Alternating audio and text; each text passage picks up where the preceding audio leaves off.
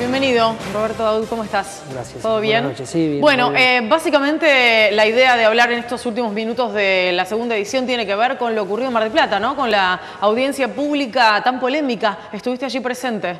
Sí, eh, estuvimos como, como asociación de consumidores. eh, la verdad que fue un- una jornada muy participativa porque hubo, podemos decir, una asamblea formal y un- o una audiencia formal y una asamblea informal de muchos vecinos eh, de la ciudad de Mar del Plata y, de- de- y del resto de la provincia que se acercaron a participar en una radio abierta que había fuera de la audiencia. Con lo cual fue un poco polémica en ese sentido. La verdad es que hubo mucha- muchos pedidos de las asociaciones de consumidores, Sí. también instancias judiciales, que de alguna manera pedían que eh, la audiencia, tal vez no, no era que no se realizase, sino que hubiese esa y otras audiencias con mayor participación, con mayor inmediatez y cercanía a los vecinos de la ciudad de Buenos Aires, cosa que no ocurrió y lo que generó que fuera del ámbito de, de la, de la- de la audiencia formal que se estaba realizando allí, existiese una asamblea de vecinos Claro.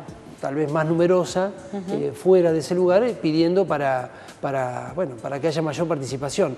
Eh, obviamente que el, el motivo principal era la, bueno, el, el rechazo a un aumento tarifario tan importante como el que estaba, como el que se refleja hoy en día en la factura de luz. ¿no? Yo creo que estamos justamente estamos terminando una feria judicial y creo que eh, en las voces de ayer se veía mucha intencionalidad de judicializar el tema, obviamente desde, desde los sectores de las organizaciones sociales. Con lo cual es un, es un problema realmente, se genera un problema que creo que tal vez se hubiese detenido si veíamos qué es lo que estábamos clamando y ver para otro lado. Creo que acá hay, un- hay algo que no se está hablando, que es, digamos, por ahí hablamos de, de los usuarios, del Sí, Estado, sí. y es de las empresas. Claro. La rentabilidad de las empresas, que es un poco lo que nosotros venimos cuestionando y diciendo, bueno, no es que no han ganado en estos últimos 10 años y menos en los últimos 20. Pero además no solo no han ganado, sino que tampoco, no solo han ganado, sino que tampoco han, han Tampoco han invertido. Nadie nos dice dónde van a invertir esto que van a Claro. cobrar de más y qué es lo que han invertido para que nosotros como usuarios digamos, bueno, sí,